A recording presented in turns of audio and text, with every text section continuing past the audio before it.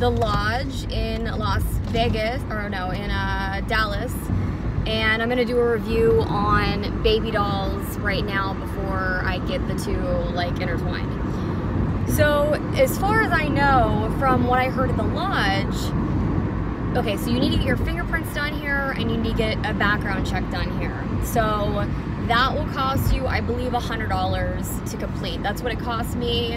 Um, I went through baby dolls though. So the lady at the lodge told me I had to go to this place and do a money order because they didn't accept cash. Well, if you go get hired at Baby Dolls first, then you can get you could go with one of their bouncers. He'll take you to the place and um, they take care of whatever, but it costs you a hundred bucks. So, and I think if you do it otherwise, I think it's more expensive. I think it's 125 if you go on your own. I don't know, I'm not sure, but okay, so baby dolls. Management seemed cool. The vibe seemed cool. Every baby dolls I've ever seen uh, has been a shithole. So I was expecting this place to not be that nice, but I got a recommendation from somebody that spends a lot of money in strip clubs saying that Baby Dolls and The Lodge were two of the best clubs in Dallas. So I thought, well, fuck it. So I went to the lodge, or I went to Baby Dolls, and I was very fucking surprised. It was 6.30 when I showed up, and the parking lot was packed when I say packed, like I'm not even kidding. I I was like, is there another building in here? Did other you know stores around or whatever? No, it was all foot traffic for baby dolls. Clientele, a lot of regulars that spend money. A lot of regulars that actually spend money and are attractive, which is weird. Um, so, uh, and also a lot of just random people. Like there was a lot of people for, here for the game that's, I don't know, today or tomorrow, I don't watch football. Um, but there were a lot of people that were here for the game. Big club. It's not massive, but it's a pretty big club. A lot of girls that work there, but there's plenty of space for you.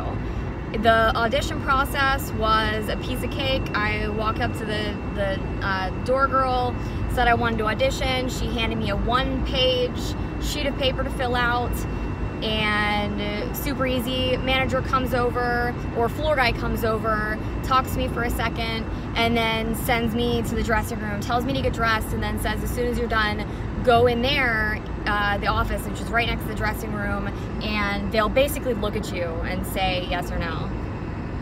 So that's what they did. So I've never had uh, an audition quite like that before. I mean, I walk in in my outfit, um, the guy tells me to take off my top, uh, turn around, asked if I had a bunch of tattoos, um, and uh, and then he said, okay, you're good. Then he said, you have to get your fingerprints done, you have to get a background check done, but they could help with that, but it was gonna cost 100 bucks in, in cash, can't pay for it on card. Um, the hours are, you can come in anytime you want, the house fee significantly increases all day, uh, but you can come in up to 1.30 and the club closes at 2. So, but your house fee is like outrageous. It's like, I think it's like 150 bucks or something. Well, maybe it's, yeah, I think it was like $150 if you came in at 2 or at 1.30. Um, $20 dances all across the board for floor dances. VIP rooms are bullshit, uh, which is why tonight I'm going to the lodge because I want I, I, want good VIP rooms. Um, the deal with the VIP rooms at this place were the only benefit. Okay, so in Dallas, you are not allowed to sell your time by. You're not allowed to sell. You're not allowed to sell by the time you're only allowed to sell by the dance. This is an actual law. So, according to him anyway. So, you need to know that there are 16 songs per hour, which equals $320 uh, per hour. So, there was no benefit whatsoever to selling a room other than well, first of all, you get to keep people, right? But it's still $20 a song, but you can still sell it by it's, you know, $320 for the hour. Um, he said you can agree on a different time or on a different price, but I still didn't really understand that. That was still kind of a gray area to me because I was like, I thought we were only allowed to charge by the song, not by the time, so I'm still a little bit confused on that. Prices for the bottles, you can get a bottle of wine. So they don't keep track of your time. This is totally up to you. No one's coming back to tell you your time's up. This is all on you. So, so you could sell, um, you know, a 30 minute room, you can sell a 15 minute room, you can sell whatever you want. You just need to do it by the song and I don't understand exactly how you can push that to be more uh, I need some more clarity on that one but um, so you can get a bottle of wine for $145 and then you get a, a, booth or whatever with this person. You can get a bottle of champagne for 165 which is what I ended up getting. Um, I sold a I sold this guy a 30 minutes. So what was that? 160 um, and then he paid 165 for the room. Um, and the benefits the only benefit other than you you get to keep someone for a while you know? And you can sell it by saying you know well it's more private it is more private um, which is good. What was I gonna say about that? Um, oh the benefit of it, the real benefit to me, at least, is when you sell a bottle, you get skipped in rotation at least one time. If you sell, if you sell on the low end, uh, what I did, if you sell, uh, you know, $150 bottle or whatever, you get skipped one time. If you go upstairs and sell like 320, I think this is right. Don't quote me on this. If you go upstairs, uh, you get skipped twice.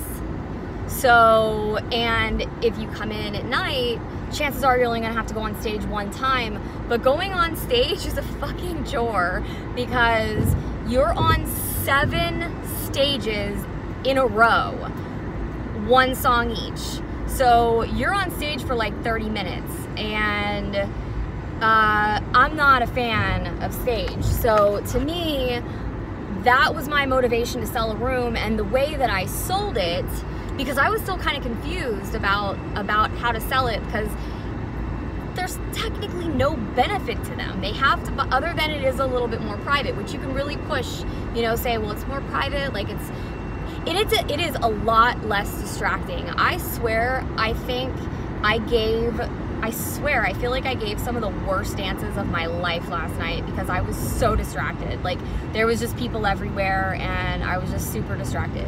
So, but then when I went into this little booth with this guy, um, I wasn't distracted anymore, you know? I was totally with him and whatever.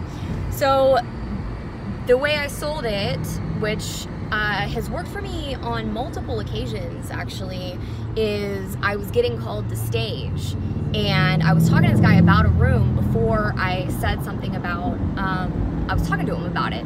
And then I heard my name called and I was like, fuck. And, and I didn't hear you're up in two. I heard you're up next. So I was like, fuck. So I said, hey, I was like, listen, I was like, let's go do a room. I was like, if you come do a room, and it was getting late. I was like, if you come do a room with me now, uh, I won't have to go on stage. And if I have to go on stage, I'll be gone for like a long time and I might not see you again. And that was what sold it. And so that's a good way to sell rooms is say, you know, you're up next. I don't know if I would lie about that. Um, I don't think lying is a good strategy. Uh, typically, you know, it's tough in the strip club scene because you're lying about your name right off the bat. So, um, and about a lot of other things. Do you have a boyfriend? Of course I don't have a boyfriend. Some girls will straight up say they do though, and they'll, you know, make more money. So, uh, because people want what they can't have. So, Anyway, besides the point. So house fee for me because I got there I think before 10 and I was new was only 25 bucks. Pay your house fee before two o'clock because if you wait until two, you're gonna wait in line with a bunch of other girls and you gotta you know pay your fee and do a, like a sign out thing um, dressing room was pretty big i always recommend getting ready before you go like I'm, i don't have any makeup on or anything right now but i'm gonna do all my makeup in the car before i go inside and i'm going to a different club anyway and the club that i'm going to tonight well i don't know if it had more space and i don't know how many girls are gonna be there tonight so um anything else everybody seemed really cool.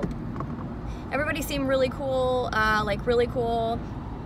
Like all the girls seem cool, all the managements, I really met one manager, but all the floor guys seem cool. Uh, DJ actually seemed cool. Uh, didn't play very good music, but he seemed, you know, he wasn't like super annoying. Um, anything else important about that place?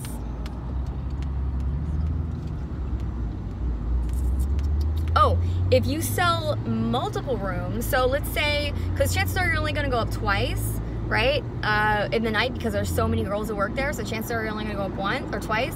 But if you sell three rooms, you can get another girl off stage. So if you have a friend that doesn't want to go on stage, um, and that keeps going. So the more rooms you sell, the more girls you can get off stage if you care to. So uh, I thought that was cool. It was, it was, unique. It was definitely unique because, and I did ask, um, I did ask a little bit into the night because I did not want to do that. I asked him, I was like, can I pay you to stay off stage? And he goes, you can when you first get here, but it's $150. He was on 150 or, or $200 just to stay off stage. And I don't even know if that included the house fee. So I was like, fuck.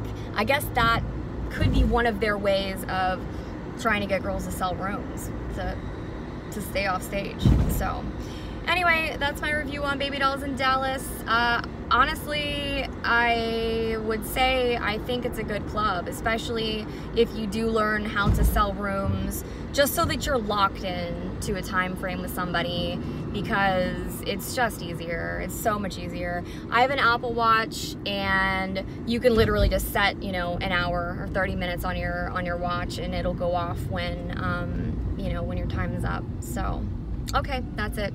Have a great night. Talk to you later. Bye.